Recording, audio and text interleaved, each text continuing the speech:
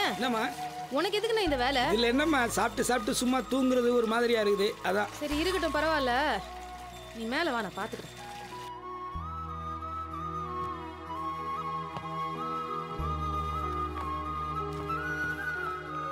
ஏன் தலைவரே? ம். நீங்களும் உங்க சங்க ஆட்களும் செஞ்ச போராட்டங்களும் வாங்கின அடியும் சந்திச்ச வழக்குகளையும் கேட்குறப்போ நான் இப்போ படுற கஷ்டமோ வாங்கின அடியோ உங்க கால் தூசி கூட போறாது போல இருக்கு. யார் எவ்வளோ அடி வாங்கணுன்றதெல்லாம் முக்கியம் இல்லை. ஒரு தப்பு நடக்கும்போது தட்டி கேட்குற தைரியம் வரணும். அது இருந்தாலே எல்லாம் சரியாயிடும். எங்க? அந்த தைரியம் தான் வர மாட்டேங்குதே தொடர்ந்து போராடினோம்னா ஆ. பயம் போயிடும். ரங்கா குளிச்சுட்டு ரெடியாகுங்க என்ன விஷயம் தலைவரே? ஒரு ஆளை போய் பார்த்துட்டு வருவோம். சரி. ஏயா ஊருக்கு வேலை செய்யதான் நீ இருக்கியே அது போதாதா? அவருக்கு இப்பதான் உடம்பு தேறிட்டு வருது. மறுபடியும் எங்க கூட்டு போய் அடி வாங்க வைக்க போற? அடிதடியெல்லாம் ஒன்றும் இல்லைம்மா. முக்கியமான ஒருத்தரை பார்க்க போகிறோம் அவ்வளோதான் தலைவரே யாரை பார்க்க போறோம்? தலைமறைவு தோழர் ஒருத்தரை பார்க்க போகிறோம் தலைமறைவு தோழர்னா இந்த சினிமா படத்துலலாம் கையில் ஒரு நியூஸ் பேப்பர் வச்சுக்கிட்டு தோலில் சோல்னா போய் மாட்டிக்கிட்டு இந்த குறுந்தாடி வச்சிருப்பாங்களா அவங்களா? அதே சினிமால கருப்பு வச்சுட்டு போத்திட்டு நீளமா துப்பாக்கி வச்சிருப்பாங்களே நீங்க பார்த்ததுல அவங்களே நாம போய் பார்க்கணும். அவங்க ஊருக்குள்ள வர முடியாதுல்ல? போலீஸ் சுற்றும் அதனால தான் தலைமறைவா இருக்காங்க. நாம தான் அவரை போய் பார்க்கணும். என்ன தலைவரே? நீ ஏன்ப்பா அவரை பயமுறுத்துற? வாங்க. உங்ககிட்ட ஒரு விஷயம் கேட்கணும். என்ன கேட்க போகிறீங்க அது வந்து இப்போ உடம்பு நல்லா ஆயிடுச்சு அஹ், எவ்வளோ நாளைக்கு தான் வெட்டியாக உட்காந்துட்டு சாப்பிட்டுட்டு இருக்கிறது உங்கள் வீட்டில் அதான் எங்கேயாவது வேலைக்கு போகலான்னு அதுவும் கரெக்டு தான். எங்கே போகலான்னு முடிவு பண்ணியிருக்கீங்க? உள்ளூரில் யாரும் இனிமேல் எனக்கு தறி ஓட்டுறதுக்கு வேலை கொடுக்க மாட்டாங்க.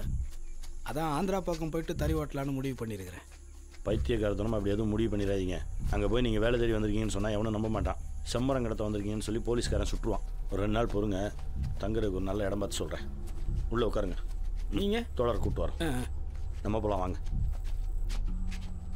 கள ஆய்வு பண்ணதுல நம்ம இயக்கத்து மேல விசைத்தறி தொழிலாளிங்களுக்கு கொஞ்சம் அதிருப்தி தான். நீங்க ரொம்ப காலம் தாழ்த்தினீங்கன்னா தொழிலாளிங்க நம்ம மேல நம்பிக்கை இழந்துருவாங்க. தலைவரே அவர் வந்துட்டாரா? இவர் தான் அவர். இவரா? ம். இவரையா பயங்கரவாதின்னு போலீஸ் தேடுது. என்ன ரங்கா எப்படி இருக்கீங்க? அடிபட்டதெல்லாம் ஆறிடுச்சா? போலீஸ்காரங்க உங்களை ரொம்ப மோசமாக நடத்துனாங்கன்னு கேள்விப்பட்டேன். போலீஸ்கிட்ட நாங்கள் எல்லாம் இயக்கத்தில் சேர்ந்ததுக்கு அப்புறம் தான் அடி வாங்குறோம் நீங்கள் அடி வாங்கிட்டு இயக்கத்தில் சேர்ந்துருக்கீங்க. ஆரம்பமே அமர்க்கலமாக தான் இருக்கு. அப்படி இல்லை நான் என்ன சங்க இருங்க அவர் என்ன சொல்கிறான்னு கேளுங்க. அப்புறம் ரங்கன் இயக்க புஸ்தகங்கள் எல்லாம் படிச்சிங்களா? அதை பற்றி உங்கள் கருத்து என்ன? முதல்ல இந்த மாதிரி அநியாயம்லாம் நடக்குமான்னு தோணுச்சு. அதுக்கப்புறம் எனக்கே அந்த மாதிரி அனுபவமும் கொடுமையும் நடந்ததுனால அப்புறம் அந்த புத்தகத்தில் இருக்கிறெல்லாம் உண்மைன்னு புரிஞ்சுக்கிட்டேன். அதைத்தான் லெனின் மக்கள் தங்கள் சொந்த அனுபவத்திலிருந்து அரசியலுக்கு வரணும்னு சொன்னார். இப்போ எனக்கு கிடைச்ச அனுபவம் மாதிரி மற்றவங்களுக்கும் கிடைச்சிருக்குமா? அப்படி இல்லை. ஒவ்வொரு தனி மனிதனுக்கும் அது வேறுபடும். பொதுவாக சொல்லணும்னா முதலாளித்துவ சுரண்டலுக்கு ஆளாகாத பாமர ஜனங்கள் இந்த உலகத்தில் எங்கேயுமே இல்லை. அந்த அனுபவம் எல்லாருக்கும் இருக்குது இதை நம்ம ஜனங்க உணர்ந்திருப்பாங்கன்னு நினைக்கிறீங்களா? அப்போ ஏன் இன்னும் நம்ம நாட்டில் புரட்சியே நடக்கலை? பாட்டாளி வர்க்க அரசியலை அவங்களுக்கு பிரச்சாரம் பண்ணணும். தனித்தனியாவோ பொதுக்கூட்டம் போட்டோ இல்லை இயக்க துண்டறிக்கை மூலமாவோ அவங்கள நம்ம பக்கம் வென்றெடுக்கணும். வெறும் பிரச்சாரத்தாலேயே புரட்சியை கொண்டு வந்துட முடியுமா? நிச்சயம் முடியாது. உழைக்கும் மக்களை ஆளும் வர்க்கத்துக்கு எதிராக போராட வைக்கணும். பொருளாதார போராட்டத்தை அரசியல் போராட்டமாகவும் அரசியல் போராட்டத்தை மாற்றணும் அது எப்படி சாத்தியமாகும்? நம்ம தான் வளர வளர எதிரிக்கு நம்மளை அழிக்கிறாங்களே.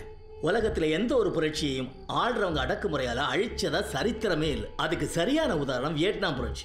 மிகப்பெரிய வல்லரசு நாடான அமெரிக்கா போட்ட ரசாயன குண்டுக்கே பொசுங்காத மக்கள் புரட்சி. முன்னை விட அதிகமாக மக்கள் போராட்டம் வளர்ந்துக்கிட்டு தான் இருக்கு. ஏன் தமிழ்நாட்டை எடுத்துங்களேன் இங்க நடக்காத போராட்டங்களா?